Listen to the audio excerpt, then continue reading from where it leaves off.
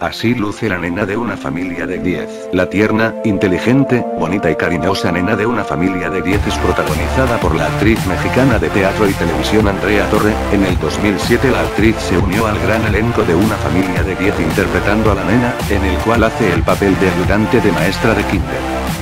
Andrea Torre la encargada de darle vida al personaje de la nena, es la única hija de dicha y está atendiendo siempre los caprichos y falsas enfermedades de su madre, gracias a su trabajo ella es la única que ayuda con el mantenimiento del hogar a Plácido. La nena siempre mantiene una defensa en contra de su prima Martina, ya que siempre están peleando. Le dice insultos como mala imitación de Mia Colucci con la cara de hija de Shrek.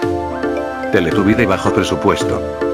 Imitación RBD, Región 4, entre muchos otros más.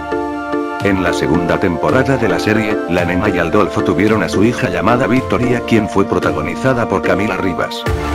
Un dato interesante del personaje de la nena en la serie es que en ningún capítulo fue llamada por su verdadero nombre como los otros personajes, el nombre real de la nena en la serie es un misterio.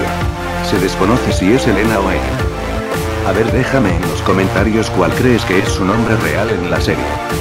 Andrea Torres cuenta con más de 547 mil seguidores en su cuenta de Instagram con los que comparte fotos. La actriz aún luce muy delgada en la actualidad, pero para que veas cómo luce la nena te dejo algunas de sus fotos.